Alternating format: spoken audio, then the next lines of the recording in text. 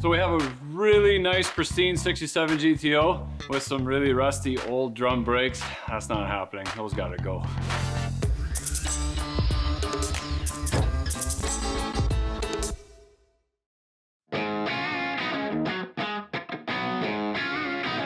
Previously on the GTO build. All right, we're at Joe's transmission. Doing this stuff since I was 16 years old, so. Sounds good. Took the extra steps to make sure that this car is perfect. And that is how you wire an engine. Next thing is brakes, four-wheel disc brake install. 242 GTOs all came with a posi. This does not have a posi, so we need a posi. Now our GTO is a true 242 GTO, so it did already have disc brake in the front, but it still had the drums in the back. Uh, the reason we're still converting it is uh, we needed a rebuild kit for the uh, front. We were having issues matching up the right seals.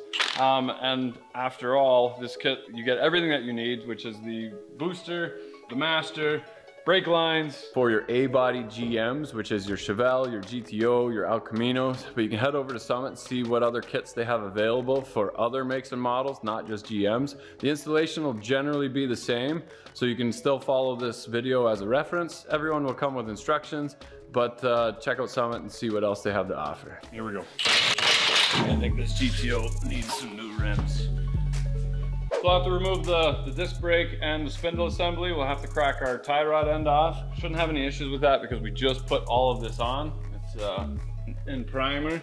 So we'll get this all taken care of before we risk scratching the paint or doing any damage. What we're gonna be getting into is we're gonna be replacing the rotor and that will come with new bearings, um, castle nut, everything that we need for that. We will be reusing the uh, the spindle here where your tie rod end uh, connects to, and we will be replacing the, the actual spindle assembly here as well. It's good to do an inventory of your kit, make sure that you have everything that you need. Um, but a better thing is to, before you tell everybody how to do it, do one side, then invite your buddies over and show them how good you are at doing this. We'll pull this castle nut off. The other rotor on the other side actually had a big groove in it. I put it on the lathe, the machined it down a little bit. We'll, I'll be keeping these rotors and the uh, four piston calipers that came original with the uh, GTO as well, just in case. Okay, so we'll pull our dust cover off. We're gonna pull these little tabs off on the, on the top here.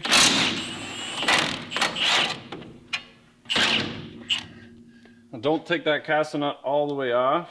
Just put the threads kind of to the top. These are all loose still because we've replaced everything.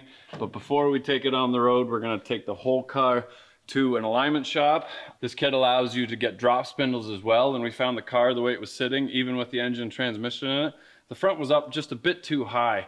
So you can check out what size is appropriate for you. I think we dropped ours three quarter inch. So you can use a pickle fork and wreck your boot if you want to take your tie rod end off. But if you can take a bar, and it works better with a buddy, to just put a little bit of tension on it, um, and then just tap this lightly, it should pop right out. Now the nut, keeping the nut on the top makes it so that it doesn't go flying. Um, and that works from anything from a small little guy like this to transfer trucks. Put that back out of the way. And we'll take these bolts off the back.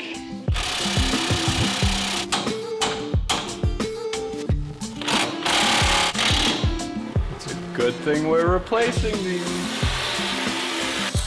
I might be running out of oxygen. I'm running out of oxygen. This is what the, the other car shows don't show you. The struggle is real.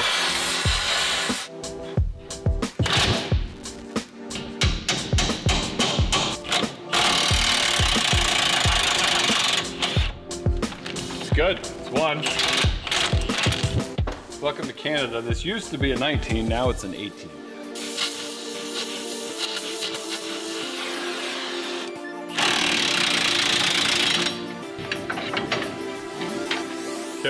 Won't be reusing that, luckily. But they are for sale. You, you do have to reuse this piece. Now some of, it comes with half inch grade eight bolts in the new kit and some of these holes aren't um, half inch, so you might have to drill them out. So stick them in a drill press, make sure that you're nice uh, and straight on. If you're worried about it at all, I think Right Stuff does sell these. And they're like 60, 70 bucks.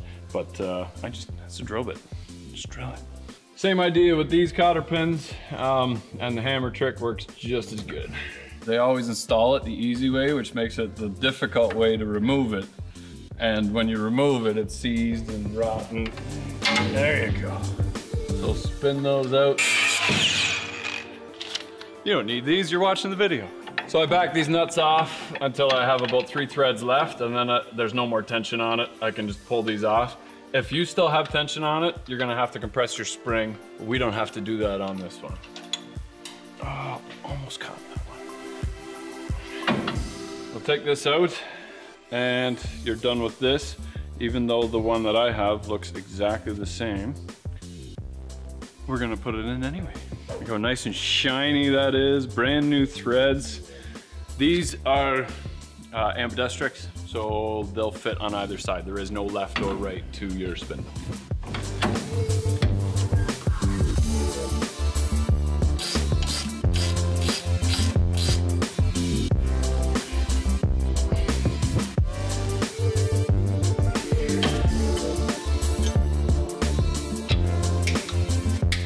I'm gonna put the cotter pin in the easy way now because I don't care about future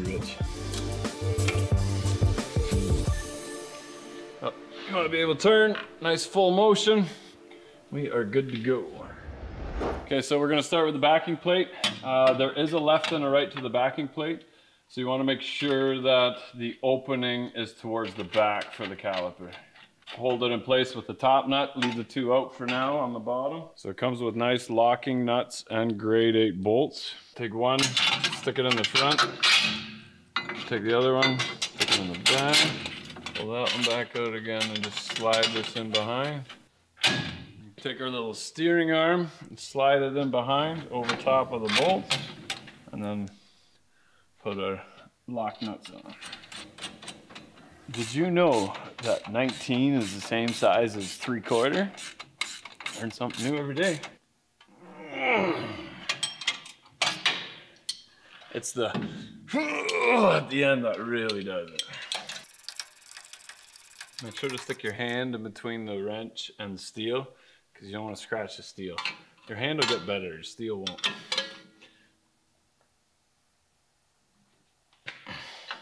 We can put our tie rod back on now. Get in your hole.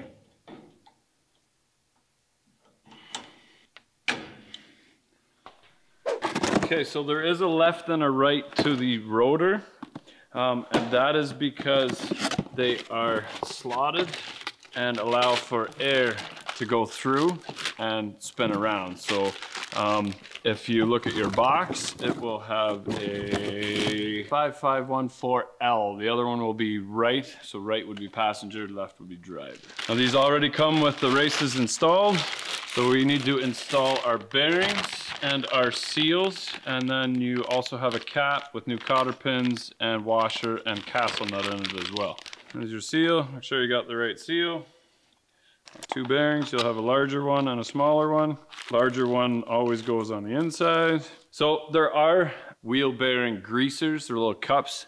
Um, we were always taught in school to put a little bit in your hand and then just take it with the open side up and just keep working around the outside and squeezing the, the grease in until you start to see it coming out the top. We need to get the grease in behind the bearing. Now see it start to squeeze out there? Just rotate it a little bit and keep going. I have used the bearing greasers, the little cups, you sandwich the bearing in between. I find you gotta fill up the whole center space of the bearing first. And now um, keep in mind that we worked on transport trucks and stuff like that too. So it's a lot of wasted grease. And if you don't clean it off every time or keep it in a clean environment, which heavy duty shops never really are, um, you get a lot of dirt and dust and crap in the grease and you're putting that into the bearing.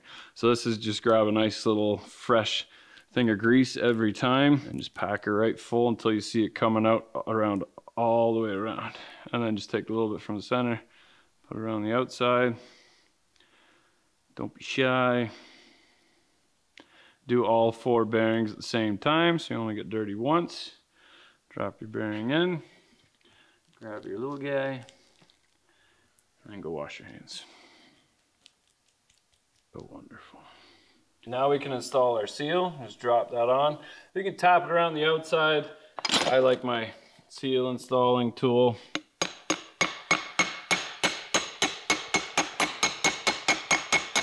Drop that in, make sure it's nice and flush. Biggest thing is you don't want it on angle.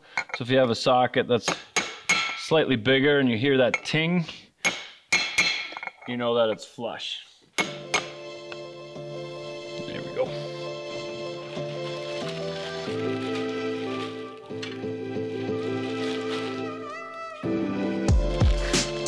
I'll have a little tab, slide that in the groove. So it's inch and a sixteenth, you wanna spin it as you're tightening it until it starts to get um, a little bit difficult. What you're doing is two tapered bearings against each other. You wanna push them into each other and then just give them a little bit of breathing room. So it's generally about two flats um, or it lines up with the cotter hole. So you want to be able to spin freely, but you don't want it to have any play back and forth this way. That cotter pin. grab your dust cap installer, which is just slightly bigger than your seal. Perfect. We just want to snug our rotor down flush so it's on the hub properly and that'll help us make sure that our pads on the caliper are nicely lined up with the rotor. If they're not, if the back rotor hits, we have to shim it to bring the caliper out a little bit. If, um, if the opposite is true, shim it, shim it up the other way. Now our caliper comes fully assembled. Um, it has an L and a right and an R on it for left and right. Um, the main thing is that you want to have your bleeder screw at the top, otherwise you'll never be able to get the air to the system and you will have a spongy pedal. Tightening that is a 3 8 Allen.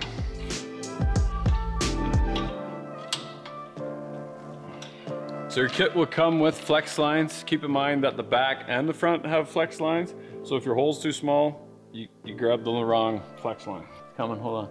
It's coming. There it is. So there's a copper washer that seals it on either side of the banjo fitting. Just go in and snug her up again. Don't get too carried away. Now that should line up with your um, clip that's already on your car. We don't have brake lines on the car yet.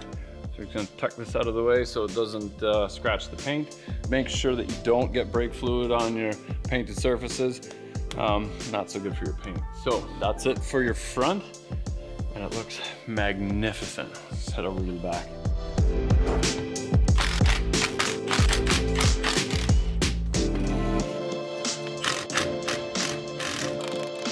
There's an impact driver that'll twist it as you hit it. Pretty cool little idea.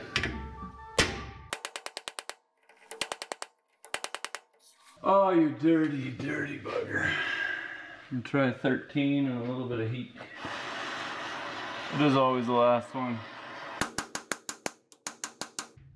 I think I got it. Nice. Okay, I don't have to weld a nut on it. There's oil in there, so that's good. Look at that big old open diff, son of a bitch. So the first thing we need to do is remove our axle. It's called a C-clip. And what we have to do is pull this pin out with this little half inch bolt. We can push the axle in slightly and pull the C-clip out and then our axle can get out. Um, this is a 12 bolt rear end as we can count by the bolts.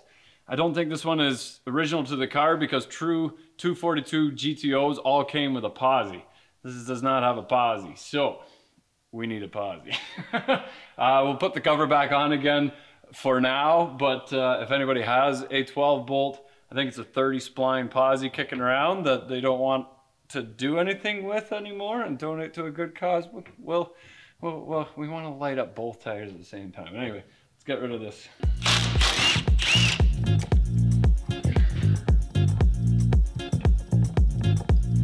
Carefully rotate, keep in mind that your spiders aren't going to come with it push your axle in, you can see that, and there's your magic little C-clip. It falls out.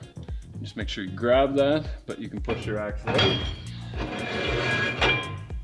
And there's your axle, put that nicely out of the way. Now you don't have to take any of this apart, just these four bolts, take that whole drum away and I don't know, send it to a flea market or memorabilia? So now we want to clean the surface so we got a nice clean spot to uh, work off of nice and flush. Now's a good time to replace your axle seal. The seal still feels plenty soft, so I don't think it's gonna leak, but we will keep an eye on it. Okay, we've got some paint on here. Cover that up nicely. We'll put our backing plate on. Now these backing plates are optional, but I'm Dutch. So if they came with it, I'm gonna use it. Now this is the bracket that you're gonna use. See how this is a machined surface that goes towards the back and the fork goes about a two o'clock position. Again, different setups have uh, different spacing on it. So the kit comes with spacing to bring the one unit out or the calipers farther back, depending on where your pads sit on your rotor. I put some medium sized shims on the other side and had to take them out. Um, this axle setup doesn't need any. At this point, our axle can go back in again. We'll put our C-clip back into our diff and tighten that up. The rotor can go back on. At this point, we'll put some uh, lug nuts on again to hold the rotor tight against the axle.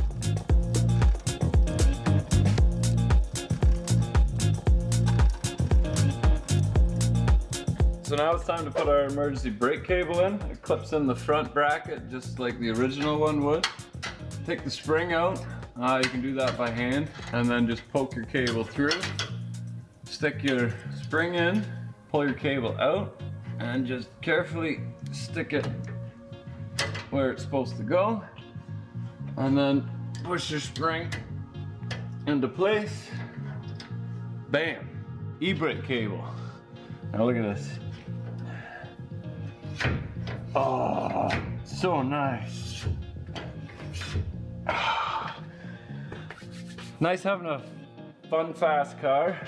Nicer knowing that you can stop that and not kill yourself or wreck your car. Now you might notice this flex line here that was never there before. What that is, is a way to connect to our brake line. We do have to weld this little tab here. We're gonna go around the shock. We're gonna go straight back. The exhaust comes up, around to the outside of the frame there. So scratch that paint off and we just weld that in place.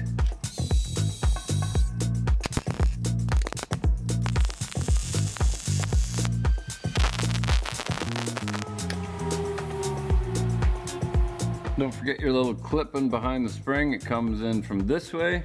And then that's kind of what that should look like. Okay, so now we'll install the master and the booster that comes with it. And that's just two little bolts right at the back here. Take that out. So this is our old booster that somebody sanded down and painted real nice. Took a lot of time to do that and we're gonna throw it away because it will never look like this one. Now all we have to do is duplicate this one to look exactly like this one. What I mean by that is the same length of rod that comes out to your pedal um, and it comes with one that threads onto here and you can cut that to whatever size you need it to be. Comes with a nice new clevis and pin, new brackets to mount it to the firewall, the bracket to mount the proportioning valve, and also the lines to go from the proportioning valve to the master. Um, comes with the wire for your brake, uh, your brake wire sensor for your shuttle pig. And it also comes with a bleeder for the master to bench bleed it. We're gonna install it as is um, and then finish running our lines up to it. Then we'll bench bleed it and then we'll install the brake lines when they're all hanging there perfectly the way I want it. So um, easy peasy, here we go.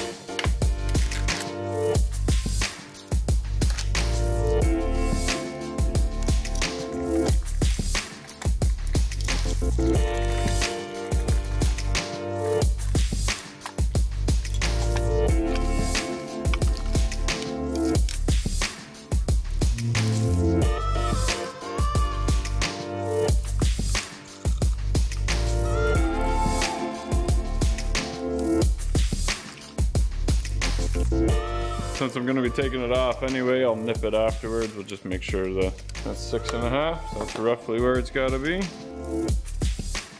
Wonderful.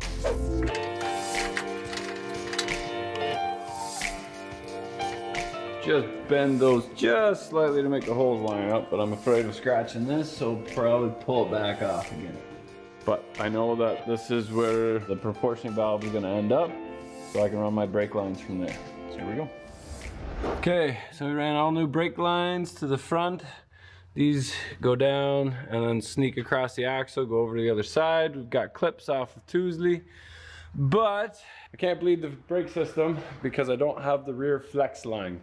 $65 in town, um, take about a week to get, and $13 off eBay, but they don't ship to Canada. So we're shipping that to the border and grabbing that when we have some other stuff show up because I can't drive all the way there just for a $13 piece. So far, all I can say is that the brake install went very, very easy, very straightforward. Got rid of a lot of headaches and more rust control in the back. Even if we had the brakes bled, couldn't tell because it worked really good because the car doesn't move. So we're gonna have to stick around. Uh, car's heading off to paint. We will be putting the torque converter in and the transmission, which is still right there, uh, because that got delayed. Delayed, delayed, delayed. I feel like I'm on a reality TV show or something. But anyway, we still have like five, six weeks before Motorama. So off the paint. There's the trailer. It's loading in. And uh, we'll stop in at the paint shop uh, a couple times a week just to see what's going on, make sure that they're still working on it, and then we'll see you at Motorama. Here we go.